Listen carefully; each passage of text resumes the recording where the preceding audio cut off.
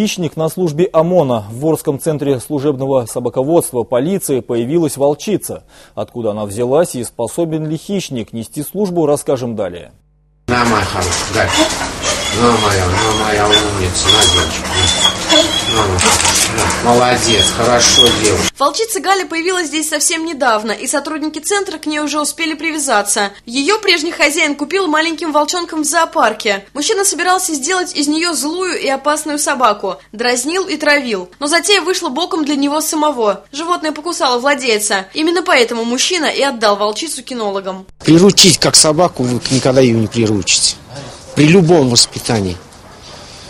В любой момент это животное все-таки дикое. Оно может развернуться, может вас покусать, может, ну, вы знаете, это все равно непредсказуемость. Теперь Галя живет в одном вольере с немецкой овчаркой Арисом, и кажется, они неплохо уживаются. Но взять на службу хищника полицейские не смогут. Хоть ее и можно кормить с рук, но не стоит забывать, что это дикое животное. А дрессировки волки не поддаются. Поэтому Галя развлекает приходящих на экскурсию школьников.